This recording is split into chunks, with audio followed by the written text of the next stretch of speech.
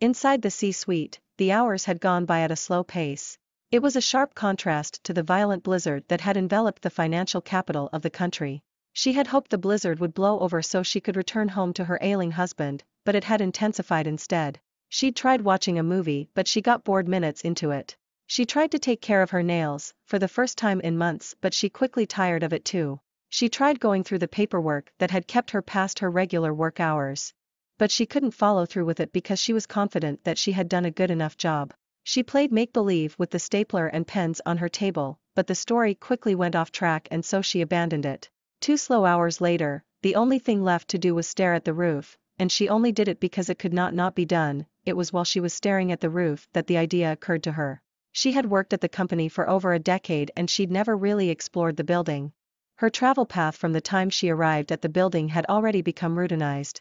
From her car to her desk, and back, she thought it would be nice to explore the building. Her retirement was already looming on the horizon, and she would never have such an opportunity to be alone in the building again, at least she hoped not, she didn't even consider her boss office. She'd been inside enough times to know there was nothing of interest there.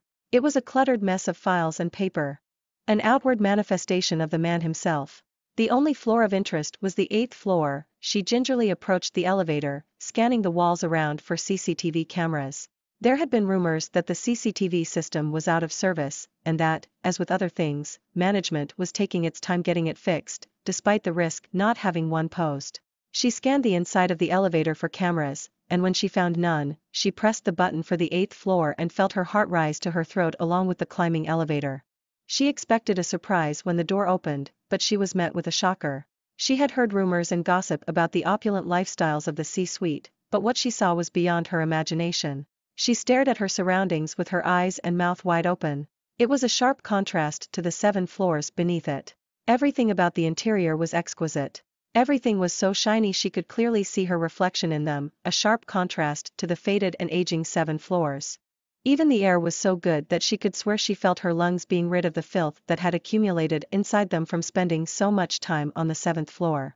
She didn't bother with exploring the other offices. Her focus was the office at the end of the corridor. She had heard so much about the office and she was eager to see it for herself. The storm could abate at any moment, she homed in on the door to his office and gave herself up to its pull. She felt herself float in its direction. And in a blink of an eye, she was right in front of it. She felt her legs shake as she slowly reached for the doorknob. A part of her tried to stop her. It enfeebled her hands. It recruited the pores all over her body and repeated its warning by way of profuse sweat. It convinced her heart to side with it, and it joined the protest by beating harder and faster. But all that wasn't enough to stop her. She was desperate to know what was behind the door. She had heard too many stories to hold back. She had heard rumors about lavish parties in remote locations. She had watched numerous discussions on TV. She had read numerous articles on the digital pages of newspapers. She just had to know if they were true, she reached for the door, believing that the contents of the office behind the door would answer all of her questions. She reached for the door, believing that basking in its glory would reveal to her the path to a comfortable and certain retirement. She reached for the door. Believing the office held the key to her future, she gasped when she took in the entirety of the office. It looked more like something the CEO of a luxury goods company would operate from. It was nothing like what she expected of the office the CEO of a paper mill in a digital age, every part of the office sparkled. From the floor, to the walls, to the ceiling, and even to the table where the CEO did his job. The office was a mix of three colors, gold, black, and white. The interior was beautifully done.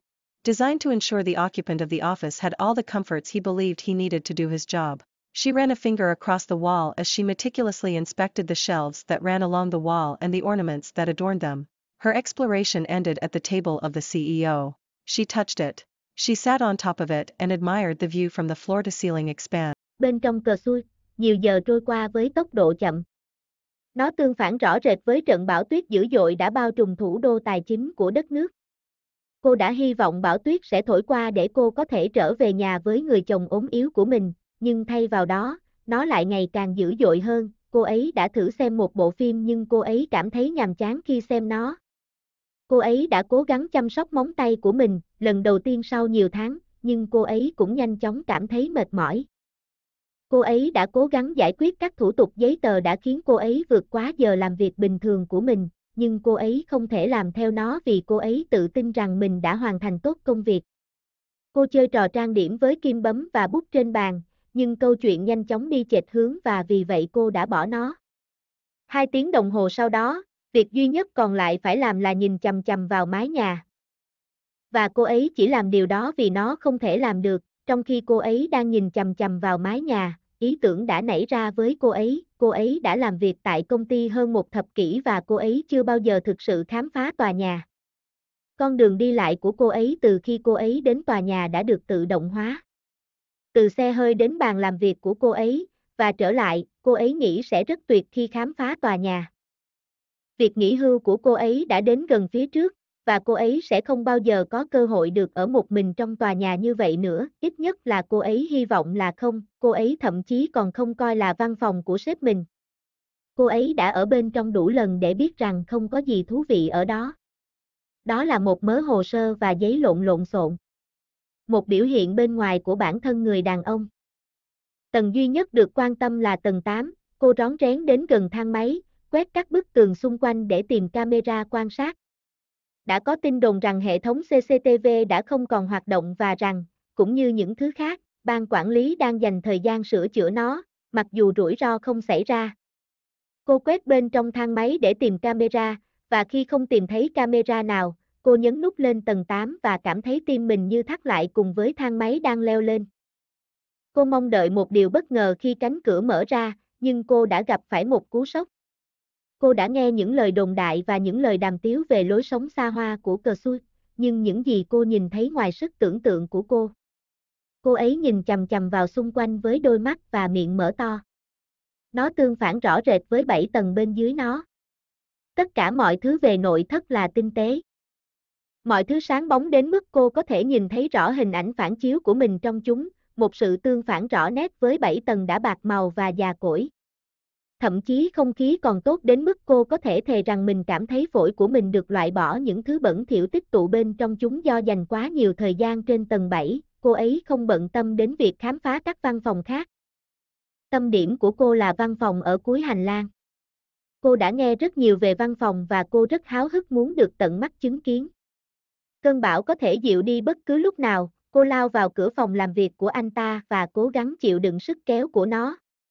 Cô cảm thấy mình trôi theo hướng của nó, và trong nháy mắt, cô đã ở ngay trước mặt nó. Cô cảm thấy chân mình rung lên khi cô từ từ với tay nắm cửa. Một phần của cô ấy đã cố gắng ngăn cản cô ấy. Nó làm đẹp đôi bàn tay của cô. Nó thu hút các lỗ chân lông trên khắp cơ thể cô ấy và lặp lại cảnh báo của nó bằng cách đổ nhiều mồ hôi. Nó thuyết phục trái tim cô đứng về phía nó, và nó tham gia vào cuộc phản kháng bằng cách đập mạnh hơn và nhanh hơn. Nhưng tất cả những điều đó không đủ để ngăn cô ấy lại. Cô tuyệt vọng không biết đằng sau cánh cửa là gì. Cô đã nghe quá nhiều câu chuyện để kìm lại. Cô đã từng nghe tin đồn về những bữa tiệc xa hoa ở những nơi xa xôi. Cô đã xem rất nhiều cuộc thảo luận trên TV. Cô đã đọc rất nhiều bài báo trên các trang kỹ thuật số của các tờ báo. Cô chỉ cần biết liệu chúng có đúng không, cô đưa tay về phía cửa, tin rằng nội dung của văn phòng sau cánh cửa sẽ trả lời tất cả các câu hỏi của cô. Cô tìm đến cánh cửa, tin rằng đắm mình trong ánh hào quang của nó sẽ tiết lộ cho cô con đường dẫn đến một cuộc nghỉ hưu thoải mái và chắc chắn. Cô với tay về phía cửa, tin rằng văn phòng nắm giữ chìa khóa cho tương lai của cô, cô thở hổn hển khi tiếp nhận toàn bộ văn phòng. Nó trông giống như một thứ mà CEO của một công ty hàng xa xỉ sẽ điều hành. Nó không giống như những gì cô ấy mong đợi về văn phòng CEO của một nhà máy giấy trong kỷ nguyên số. Mọi nơi trong văn phòng đều lấp lánh. Từ sàn nhà, tường nhà, trần nhà, và thậm chí cả chiếc bàn, nơi CEO thực hiện công việc của mình. Văn phòng là sự pha trộn của ba màu, vàng, đen và trắng. Nội thất được hoàn thiện đẹp mắt, được thiết kế để đảm bảo người ở trong văn phòng có tất cả các tiện nghi mà anh ta tin rằng anh ta cần để làm công việc của mình.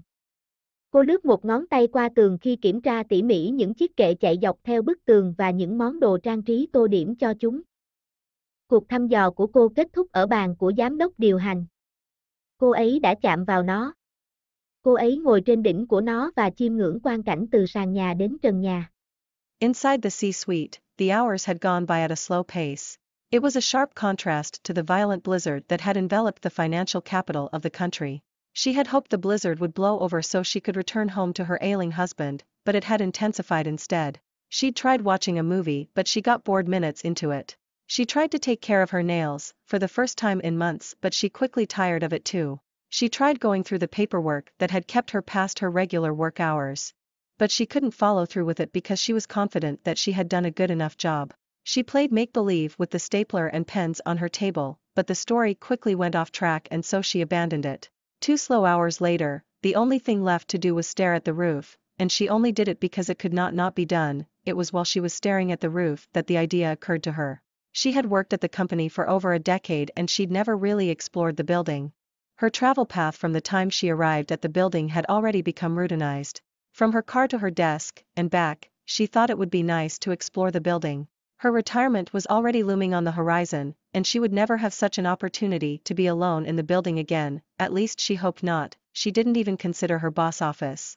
She'd been inside enough times to know there was nothing of interest there. It was a cluttered mess of files and paper. An outward manifestation of the man himself.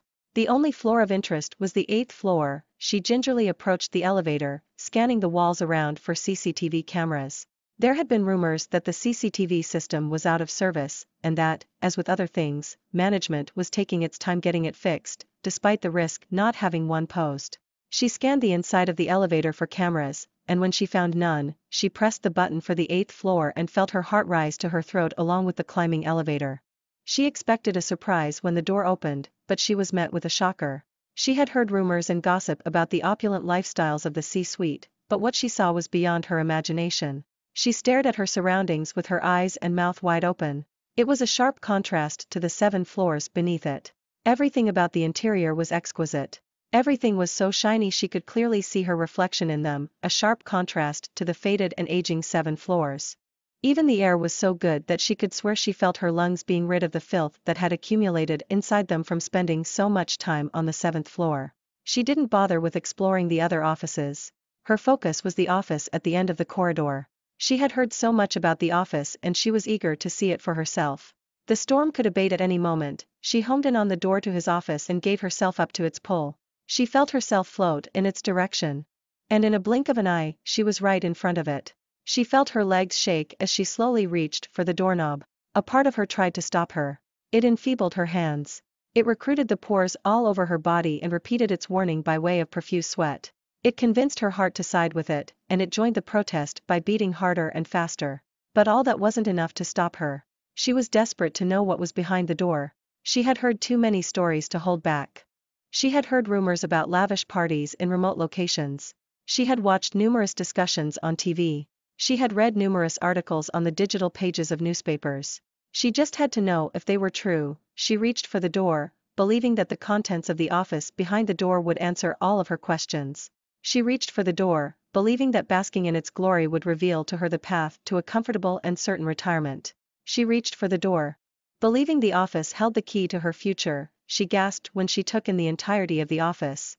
It looked more like something the CEO of a luxury goods company would operate from. It was nothing like what she expected of the office the CEO of a paper mill in a digital age, every part of the office sparkled. From the floor, to the walls, to the ceiling, and even to the table where the CEO did his job. The office was a mix of three colors, gold, black, and white. The interior was beautifully done. Designed to ensure the occupant of the office had all the comforts he believed he needed to do his job. She ran a finger across the wall as she meticulously inspected the shelves that ran along the wall and the ornaments that adorned them. Her exploration ended at the table of the CEO. She touched it. She sat on top of it and admired the view from the floor to ceiling expanse.